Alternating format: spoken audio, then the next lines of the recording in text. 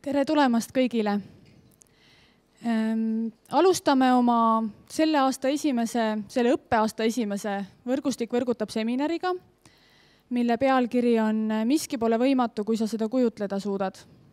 ja räägime siis äh, meediakasutusest õppetöös ähm,. kui me seda seminari äh, planeerima hakkasime, siis äh,, siis me mõtlesime, et äh, et kuna lapsed ja noored väga varajasest äh, ajast juba kasutavad igasuguseid nutiseadmeid ja on äh, sellised aktiivsed meediakasutajad ja loovad ka ise sisu, meediasisu, siis äh, me mõtlesime, et see on ilmselt selline tähtis teema, millest me võiks rääkida ja mida esile tõsta oma võrgustikus. Ja, ja tuua teile selliseid häid näiteid, et ja anda võib-olla selliseid nippe, et, et kuidas õppetöös me meediat kasutada ja kuidas nagu õppimist rikastada sellega. aga kui meil oli esimene võrgustiku sisu koosolek, siis minu hea kolleeg Ingrid Maadvere küsis mu käest, et et Triin, et kas sa tead, kes on Carlos Kolk? mina ei teadnud. ja ta ütles selle peale mulle, et ähm, jah, et sina ei tea, aga tead, et kõik need noored, kes praegu koolis õpivad, nemad kõik teavad. ja ma siis guugeldasin, et ka teada saada ja ma näitan teile, mida ma leidsin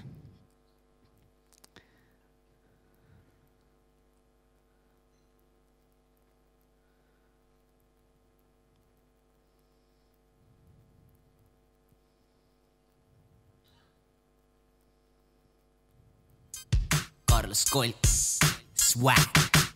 Uh mul fänne umbes kolm tonni, kuid enamus neist ainult sollis iga õhtu Ask FM-is väiksed pliksid teevad spämmis sada fänni vähemalt. iga päev tahan näha mind, mida lähemalt, seda lahedam. iga päev tahan näha mind, chillin sõpradega linnas, kruiisin ringi, naudin ilma igal pool, kus pea ma keeran, väiksed tšikid teevad silma, väike monster kurgust alla, prillid ette, ongi pidu. mis passite siin Virus, minge välja, ilm on ilus, vahet pole, kust sa pärit, Lasnamäelt, Mustakalt või Viimsist. kui mind kuskil näed, take it easy, pöialiisid teie heit ju mind tahab sullikoti noll, solk, pekivolt, vaata parem ette, kellest räägin. Ma ju Carlos Kolk ah,.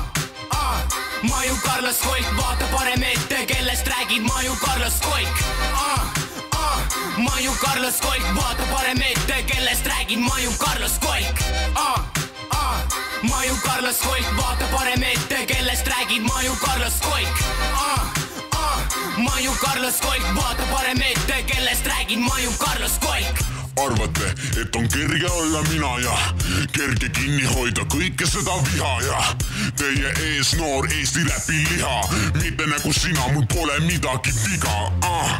Ah, ah, ma ju Carlos Kolk, vaata parem ette, kellest räägid ma ju Carlos Kolk. Ah, ah, ma ju Carlos Kolk, vaata parem ette, kellest räägid ma ju Carlos ju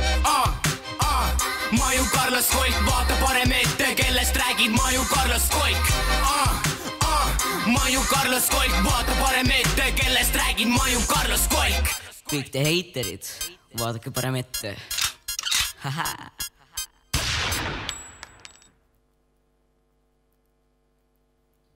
et sellise video leidsin siis ja see ei olnud ainuke tema video Youtube'is.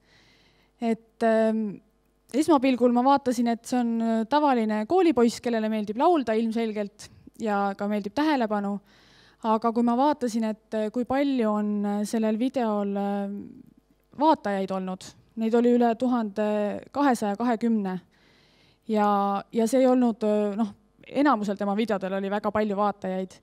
et siis ma sain aru, et et võib-olla ongi see maailm, milles meie täiskasvanud see meediamaailm, milles meie täiskasvanud iga päev äh, liigume ja milles me harjunud oleme olema, mida me tunneme, et äh, võib-olla on see totaalselt erinev sellest, äh, milles noored liiguvad.